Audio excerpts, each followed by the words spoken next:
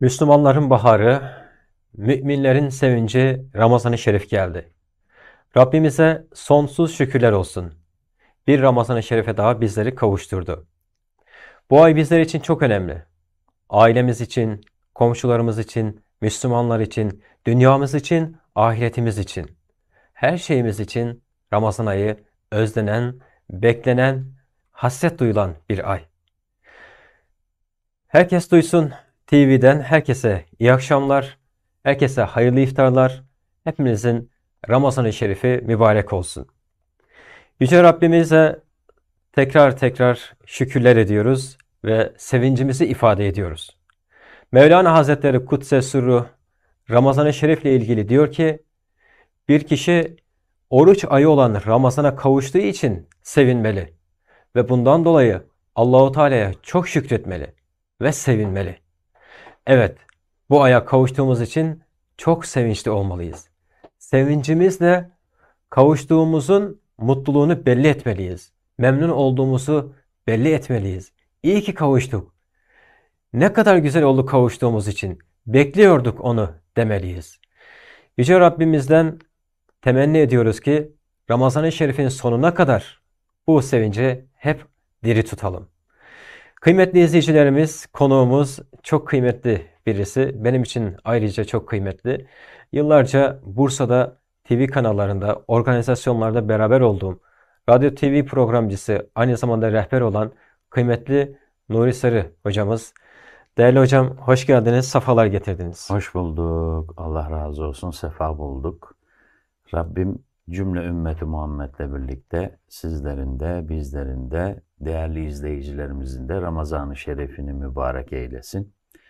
Böyle güzel bir ortamda bizleri bu şekilde teveccühte bulunmanızdan dolayı da hem Herkes Duysun Medya e, program sahiplerine sizlere de teşekkürlerimi iletiyorum. Allah razı olsun. İnşallah program doğrultusunda ümmeti Muhammed kardeşlerimize Rabbim bizim dilimizin bağını çözsün, güzellikleri söyleyebilmeyi nasip eylesin. Sevincimizi hep birlikte paylaşarak güzellikleri çoğaltsın. Sıkıntılarımızı böyle bu mecralarda sohbetlerle paylaşarak azaltsın inşallah. İnşallah. Allah razı olsun hocam. Cümlemize. Değerli hocam şimdi büyüklerin sözüyle başladık. Mevlana Hazretleri'nin sözüyle başladık. Sevinmekten bahsediyor Mevlana Hazretleri. Yani bir insan, bir Müslüman Ramazan ayına kavuştuğu için çok sevinmeli diyor. Evet. Bunun için Allah'a şükretmeli diyor. Evet. Şimdi burayı biraz açalım. Niye sevineceğiz ve niye sevindiğimiz için şükredeceğiz? Evet. Öncelikle Allahü Teala'nın kelamullahı ile başlamak arzumdur. Hı hı. Euzu billahi mineşşeytanirracim. Bismillahirrahmanirrahim. Elhamdülillahi rabbil alamin. Ve salatu ve selamu ala rasulina Muhammedin ve ala alihi ve sahbihi ecmaîn. Rabbi şrahli sadri ve yesirli emri. Vahlul ukdeten min lisani yefkahu kavli. Ya Rabbi sen bizim dilimizin bağını çöz, göğsümüzü genişlet ki anlattıklarımızı anlayabilsinler diyerek başlayalım. Sevinmek Allahü Teala'nın kullara verdiği en güzel hasletlerden, özelliklerden, fıtrattan bir şey. Peki biz bunu sevinirken saymakla bitiremeyeceğimiz özellikler var. Değil mi? Annemizi görürüz, seviniriz, babamızı, evladımızı, e, dostumuzu, arkadaşımızı. Peki Ramazan-ı Şerif bunun gelişine, bunun bizlere getirdiği o kazançlara, özelliklere, lezzetlere sevinmeyip nasıl bir şey olabilir? Sevinmemek. Çünkü bugün yaşadığımız ortamda öyle bir tek düze, monoton bir ömür yaşıyoruz ki muhterem kardeşim. Hepimiz bu söylediklerime evet ya der gibi insanların düşündüğünü hissediyorum. Sabah iş, akşam ev. Akşam ev ama akşam evde hiçbir beraberlik yok. Hiçbir birliktelik yok. Akşam yemekleri bile beraber yinemiyor. Asrın sıkıntısı ve üzüntüsü. Herkes bir tarafta. Çocuğu almış tabağa başka bir odaya. Herkesi tenzih ediyorum. Kendimi konuşuyorum. Kendimden söylüyorum. İşte o odasına gidiyor, bu mutfakta kalıyor, öbürü bir önce yiyor, bir sonra yiyor. Varan bir. Akşam eve geldiğimizde zaruri, gayri ihtiyari herkes aynı sofrada. Buna sevinmeyip ne yapabiliriz biz ya? O güzelliği kendimiz organize edemiyoruz. Ama Allahü Teala öyle güzel bir ay nasip etmiş ki, öyle güzelliklere düçar olacak, mazhar olacak bir ay vermiş ki bize, o kendi kendimize uygulayamadığımız organizasyonu o bize Evet. uygulattırıyor. Eşimiz, çoluğumuz, çocuğumuzla birlikte. O özlemleri, o en ufak bir örnek pide. Ramazan pidesi ya. Yılda bir kere. Onun bile sevincini yaşıyoruz doğru mu? Evet. İşte bu sevinçler Allahü Teala'nın bize lütfettiği Ramazan-ı Şerif ayının saymakla bitiremeyeceğimiz bu sevinmelerine mazhar ediyor. Mevlana Hazretleri sevinmemiz gerektiğini ifade ediyor, tavsiye ediyor değil mi? Peki buna sevindiğimiz zaman ne oluyor? Ne olabilir? Ne olacak? Allahü Teala'nın lütfettiğine şükretmiş olacağız. Ona sevinmek, o Ramazan-ı Şerif'in bize getirdiği güzelliklere sevinmek, onun lütfettiğine teşekkür mahiyetinde. Bize bunu lütfettin ya Rabbi. Bizim kendi kendimize yapamadıklarımızı senin bize ikram ettiğin o e, güzellikle biz başarıyoruz. Buna teşekkür ederim. Buna Allah senden razı olsun. Ya Rabbi senden ebeden ve daima biz razıyız. Sen de bizden razı ol diye teşekkürlerimizi iletiyoruz. Bundan güzel bir şey yok. Gerçekten e, dediğiniz konular çok çok e, önemli. Özellikle başta söylediğiniz hocam bizi Ramazan bir düzene sokuyor. Kesinlikle. Hani biz kendimiz planlayarak neredeyse geri kalan 11 ayda e, onu yapamıyoruz. Maalesef. Ve yapamamamız bize çok acı faturalar bırakıyor. Yani Ramazan-ı Şerif'te akşam evde birlikte olmayı bize Rabbim lütfediyor. Hayat içerisindeki amaç insan olarak ne amaçla bu dünyada olduğumuzu hissettiriyor. Namazıyla, orucun hikmetleriyle ve buradaki kazandığımız sevabı ecirlerin ahirette bize neler getireceği. Yani biraz espritüel söyleyelim. Bonusu çok bol bir ay. Evet. Yani o Şey kadar yok. çok. E, yani Allahu Teala oruç benim için diyor ya. Evet. Dolayısıyla bir sınır yok. Kesinlikle. Yani alimler öyle diyorlar. Yani Allahu Teala benim için demişse onun ne kadar mükafat vereceğini bilemeyiz. O da az vermez. Kesinlikle Allahü Teala'nın adaleti de, merhameti de, mağfireti de, lütfu, ikramı da sonsuz. Bunun için de çok sevinmeliyiz. İşte. E çünkü dünyevi hayatımızda ancak dünyevi imkanlarımızı, ihtiyaçlarımızı karşılamak için paramparça oluyoruz. Çok küçük bir karşılık alıyoruz. Bir maaş Evet. veya işte belli başlı dünyevi bir meta. Ama Allahu Teala'nın lütfettiği bu dünyada ölçüsü yok. Altın, para, pul bunun ölçüsü yok. Çünkü ahirette defter kapandıktan sonra, dükkanın kepenkleri indikten sonra ortaya çıkacak olan meta bizim aklımız dimağımız almaz. Çünkü Allahü Teala'nın o e, servetini biz idrak edemeyiz. Yani Allahu Teala çok cömerttir. Çok Amenna ve saddak. merhametlidir. Amenna ve saddak. Biz ki bugün e, insanlar içerisinde mesela zengin olan, aynı zamanda da merhametli olan, cömert olan birisini gördüğümüzde gıptayla bakarız. Değil mi? Ya falanca var ya, ya bu adam hesapsız veriyor. Ya, Onun gibi yardım yapanı görmedik falan deriz. evet. Şimdi buradan bir misal alacak olursak ya Allahu Teala e, kıyaslanamayacak bir merhamete sahip, işte. bir cömertliğe sahip.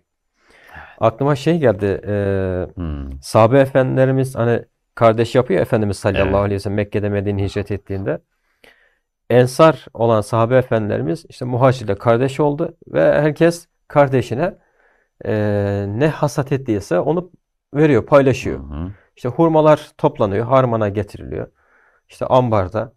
E, ambarda paylaşıyorlar. Ortadan ikiye bölüyor. Hı İşte şurası senin, burası benim diyorlar. Tamam diyorlar.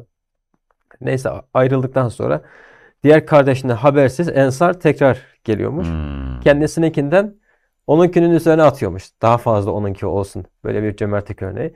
Daha sonra da ayet Onlar- iniyor onlar, onlar hakkında. misafirdir diye. Evet. Şimdi Allahu Teala kullarına böyle bir cömertlik vermişse onun bu çok cömert olduğunu gösterir aynı zamanda. E, Vereninkini bir de düşün. Bir de düşünelim ki Allahu Teala kullara böyle verdiyse kendisi nasıl e, ahirette muamele edecektir. Aklımız dimağımız alamaz. Bu sebeple çok çok e, sevinmek gerekiyor. Evet. E, Ramazana kavuştuğumuz için, oruca kavuştuğumuz için, Evet. sahura kalktığımız için, kalkacağımız için. Kur'an-ı Kerim e, daha fazla dinliyoruz, daha fazla okuyoruz. Evet. Belki de şu mu hocam, sevinmekten gaye? Hani Ramazan ayında biz bir karantinaya, sevinme Evet. karantinasına alınıyoruz aslında. Kesinlikle Ve öyle. Senenin diğer aylarında her işimizi aslında severek ve mutlu olarak yapmak gerektiğini belki de anlamamız gerekiyor buradan. Şimdi çok güzel bir yere değindin muhterem dostum. Aslında Allahü Teala bizleri nasıl ki bir fabrikanın yıllık bakımı olur. Üç gün, beş gün, bir hafta o bakıma alınır. İşte insanoğlunu da Allahü Teala yarattığı kulunu bizi bizden daha iyi bildiği için dediğin gibi bir karantina diyebiliriz buna. Bir bakım diyebiliriz. Hem fiziki beden olarak hem ruhi maneviyat olarak. Her e, halükarda bizleri temizleme aşamasına giriyor. Fizik olarak oruçla bizim bütün bedeni sıkıntılarımıza şifa olacak bir e, uygulamayı bize emretmiş. Manevi olarak da ruhumuzu temizleyebilmek için Kur'an-ı Kerim Azimüşşan'ın tilavetiyle, ahengiyle, teravihlerin birlikteliği, beraberliği, dostlarla, komşularla, akrabalarla o beraberliği, girişi selamun aleyküm, Ramazanınız mübarek olsun, çıkışta Allah kabul etsin. Bu şekilde bununla birlikte paylaşmayı, unuttuğumuz o kadar çok şey var ki, haslet var ki insani vasıflarımız, İslami vasıflarımız, e, görevlerimiz olarak, zaruriyetlerimiz olarak onları hatırlıyoruz. Fitresiyle, zekatıyla, ümmeti Muhammed'in birbirine kenetlenmesini şu anda yaşadığımız zaman öyle bir zaman ki ahir zaman dediğimiz zamanda inanın hepimiz müthiş bir psikolojik çöküntü içerisindeyiz. Tek derdimiz dünya olmuş. Tek amacımız, gayemiz dünya, para kazanmak ve insanlara karşı mahcubiyet yaşamamak, en güzelini, en iyisini, en fazlasını elde etmek amacıyla ne eşimizi, ne çoluğumuzu, çocuğumuzu, ne anamızı, ne babamızı, konu komşumuzu göremez olmuşuz. Her şey dünyevi menfaat doğrultusunda had safhada dört nala gidiyor. İşte bunları durduruyor. Bunları bir zaman diliminde kenara koydurarak ne olduğumuzu, kim olduğumuzu, insan mıyız, neyiz, nasıl bir şeyiz biz? İnsan olarak Allah'ın yarattığı hasletlerimiz, asıl olan hasletlerimiz, kişiliğimiz ne? Onu öğretiyor bize Ramazan. Evet Allah razı olsun hocam. Çok güzel ifade ettiniz gerçekten. Estağfurullah. Ee, belki de niye sevilmemiz gerektiğine bu açıdan bakmamız çok daha güzel olacak. İnşallah. Ee, bize unuttuğumuz şeyleri hatırlattığı için Kesinlikle. çok çok daha fazla sevilmemiz gerekiyor. İnşallah. Kıymetli hocam, e, programın sonuna geldik. Eyvallah. İnşallah bir sonraki programda tekrar beraber olacağız. Evet. Ee, Allah razı olsun. Ayaklarınıza sağlık. Çok Sizden teşekkür ederiz. Allah razı olsun. Rabbim inşallah ümmeti Muhammed'in sevincini alü asan eylesin. Daim ve baki eylesin. Allah razı Bu olsun. fırsat için ben de ayrıca teşekkür ediyorum. Değerli izleyicilerimiz, bugün kıymetli Nuri Sarı hocamızla beraber Ramazan ayına kavuştuğumuz için sevinmekten bahsettik. Bu sevinmek, dileriz ki Ramazan ayındaki bu sevinmek e, senenin diğer aylarına da yayılır. 11 ayda bir ezan duyduğumuz zaman ona seviniriz. Namaza gittiğimiz için seviniriz. Namaz kıldığımız için mutlu oluruz, seviniriz. Bu sevinç sayesinde mükafat Allahu Teala ayrıca verecektir. Çünkü alimler hep sevinmekten bahsetmişlerdir. Sevinmekle ilgili e, bir misal verip e, inşallah iftarımıza e, geçelim. Çok az bir zamanımız kaldı. Malum ki Efendimiz sallallahu aleyhi ve sellem dünyayı şereflendirdiği zaman amcası bir yeğeni geldi diye sevindi. Bir yeğeni doğduğu için sevindi Ebu Leheb. Ve daha sonra bu sevincinden dolayı e, kölesini Efendimiz sallallahu aleyhi ve selleme gönderdi emzirsin diye. Hatta azat etti diye de söyleniyor. Daha sonra o vefat edince, yıllar sonra vefat ettikten sonra rüyada görüldü ve e, rüyada pazartesi günleri azabının hafiflediği anlaşıldı. Bunun sebebi de Efendimiz sallallahu aleyhi ve sellem pazartesi doğmuştu ve o dünyayı şereflendirdiğinde bir yeğenim doğdu diye sevindi. Bir peygamber doğdu diye değil. Ama sevindi. Diyor ki alimler işte o bir dünyalık sebepten dolayı olsa bile peygamberimiz doğduğu için sevindi. Allahu Teala o sevincin karşılığında pazartesi günleri azabını hafifletti. Öyleyse ona inanan, onun ümmeti olan, Allahu Teala'nın yolunda olan bir insan Ramazan'a kavuştuğu için sevinirse, peygamberimizin doğumuna sevinirse, işte ezan dinlediği için sevinirse, namaz kıldığı için sevinirse, e, teravih için sevinirse, sahura kalktığı için sevinirse, birlik beraberlik içinde olduğu için sevinirse, Allahu Teala kim bilir inanan insana nasıl mükafatlar verir. Yüce Mevla sevincimizi daim kılsın. Hayırlı iftarlar.